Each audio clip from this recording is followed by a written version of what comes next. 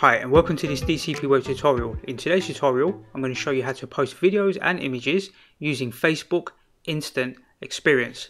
So on my desktop I've got this folder and inside this folder I've got two videos, they're both MP4 files and then I've got four pictures and I want to combine all of this content into a single post and post that on Facebook and that is called a Facebook Instant Experience. So let's close this and let me show you how to do this. I'll open up the web browser and I'm on my Facebook page here right now.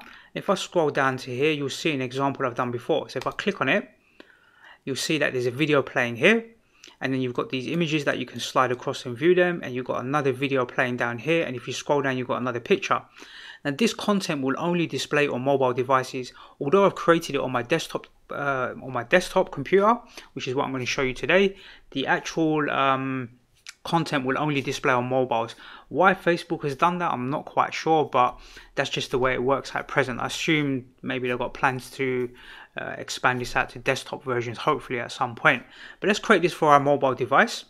One thing to note is on the very last image, if you was on if you was looking at this on your mobile phone, you can actually swipe up and when you swipe up, this particular instance or this particular sequence will take you to the tutorial where you can go and make this particular uh, video sequence. I've shown you how to do this in um, on YouTube. So we're going to make something similar similar to this, but using some different content. So let's go to the top here and click Write Post. Write a post. We'll click inside here, and we'll click on Photo and Video here.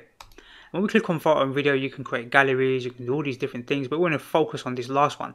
Create an instant experience. You can now tell more tell a more immersive, immersive story by combining images and videos. So let's click on that. And when I click on that, I'll get an option, this plus sign here.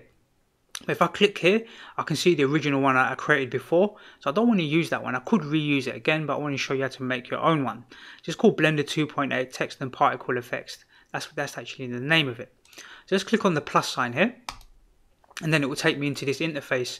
And the first thing I'm going to do is click on add component. But really before I before I do that I should give this instance experience a title here because it's called untitled instant and we don't want that. So we're going to call it blender. In this example I'm going to call it blender 2.8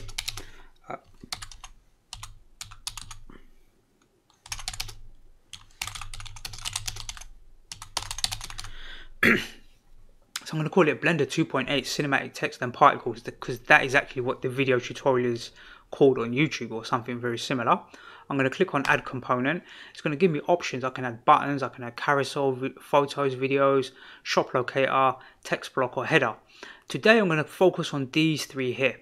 These three and maybe in subsequent tutorials we'll focus on using some of these other objects but let's make it nice and easy for you to understand so the first thing I want to do is add a video so I'm going to click video and I'm going to click OK and that gives me an option to upload a video so I'm going to click upload here upload video and I'm going to select one so I'm going to go to my desktop I'm going to select this particular video the first one I'm going to click upload and it's going to start to upload while that's uploading I can start continuing doing other things so I'm going to click add component and I'm going to click on carousel here carousel I'm going to click OK and now it's asking me for image one so I'll click upload and I'm going to actually select let's see picture one here picture one and I'm going to click open and while that one's uploading I'm going to click picture 2 here and click upload and select picture 2 and then I'm going to make a third one click the plus sign and I'll click on this third one and click upload and I'll click on the third one and click open. Now you can add URLs here, destination options. So if these were like three different products, can you see in here they're sliding across now? So if these images were of I don't know, maybe your trainers, like if you're a shoe shop or something, or if um, if there's some sort of product or something, or maybe the link to tutorials or anything, you can actually add a, a, link in here. But I'm going to show you how to do that on the very last step, the way that I did it previously. So here you can see the video, here you can see the still images that people can just slide across and have a look at the nice little thumbnails. I'm going to scroll down and click add component. And I'm going to pick video again and click OK. Now I get an option to upload another video. So let's click upload video. I'm going to select the second video and click open. And that's just basically a little demo of this being built in Blender. It's just a little basic example. While that's uploading, let's click add component. And I'm going to click image again and click OK. And then I'll select uh, upload photo here. And I'm going to click on this one, picture 00. This, this very first one here and click open. And that's going to upload. And now I've got a video here that's just still uploading, so it's taking a bit of time. Uh, but in theory, then I should have a video at the top I should have some image sliders like this. I'll have another video here and then I've got this last video at the bottom. Right, and here you can see there's an extra video. It's basically like the top one, but it's showing it directly in Blender here, you can see. So for this last picture, I want to be able to add a link to it. So what I'll do is go to the video tutorial on YouTube. I'm going to click share here and I'm going to copy this URL. This is the specific URL for this tutorial. So let's go back to Facebook and in the website link here, I'm going to paste in that URL. And now you can see swipe to load at the bottom written here, swipe to load. So people will swipe up, so they'll look at all of this content and they'll swipe up and it will take them directly to this tutorial right here which is pretty cool, right?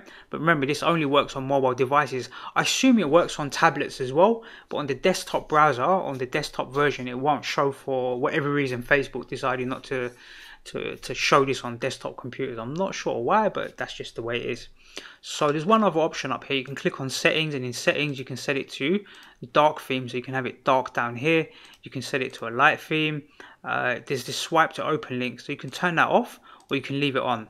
Right, so you can leave it on. I prefer to leave it on and um, you can do custom color here as well so if you want to pick a specific color like red maybe to match your brand or your design we could probably do something maybe like a a sort of a green color might work well, like something like this. I think that's cool. Let's click close. Let's click on this save button here. And now it's saved and we can click on finish. so when we click on finish, it says, finish this experience, uh, instance experience. Your instance experience is ready to be added to a page post or to an ad campaign when it's finished finished instant experiences cannot be edited. So once you've done this, you need to make sure it's good because you can't come back and edit it. It is like a one-off sort of thing, right? But you can reuse it many times afterwards. so I'm going to click the finish button. I'm happy with this. And then it takes you back to here, which seems a bit weird and you're not quite sure what's going on. So what you need to do is um, click on this um, section here. Let's see. Um, how did I do this? Let's click on this close button here, close for the moment and I'm going to click back on this instance experience. And I believe let's see blender. If, if I click um, here and then click on this actual instance here cinematic text and particles. Let's click this. Here we go here we go. So when you click on it, it takes a little bit of time. You need to click on here then click here. And it says fetching preview it takes a few seconds and then you'll see the thumbnail here right and that's what's going to get displayed to the user. You can write some text in here, so maybe we'll write something like um, Blender 2.8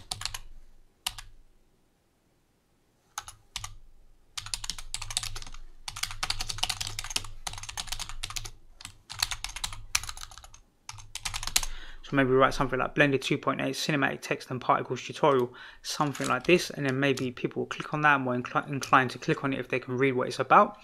Where it says Facebook here, if you click here, you can click on there and then you can put like your website address here maybe, like this, and then we'll go down and click share. So when we click this share button, um, you can see that it says uploading here. You have to wait a few seconds and then you'll see this here. Now on your desktop, only only the, the admin of the website can actually see this. When people come along to see your desktop website, your, your desktop page for Facebook, you won't actually see this. Um, other users won't actually see this. But if, if I click on it, it says only you can preview this post on your desktop. People who visit your page can only see this canvas on mobiles. So now this is actually published and on my mobile phone, if I were to go and look at my Facebook page, I'll be able to see this post there like this particular one. But only I can see it on the desktop but anyone else can see it on my on their mobile phones if that makes sense.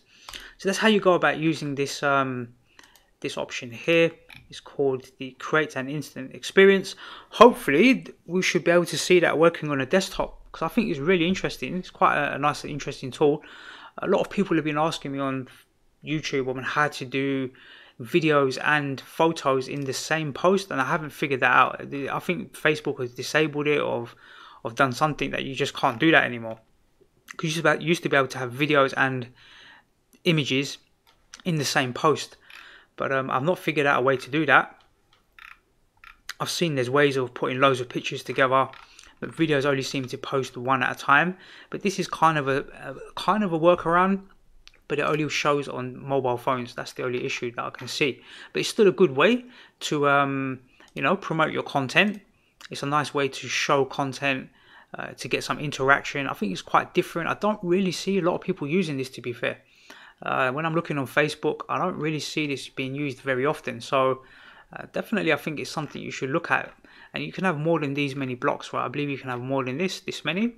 Um, and I think it's a nice way for you to either promote your work or promote your products. So go and experiment with this, see what ideas you can come up with. Um, you can do these little scrollers here. You can see that's working as a preview. You've got another video here. And then if I were to swipe up here on my mobile phone, then you would see this would take me directly to this particular video. Okay, let's go ahead and minimize this. That's how you go about posting videos and images using Facebook Instant Experience. I hope you find this tutorial useful and I look forward to seeing you in the next DCP web tutorial.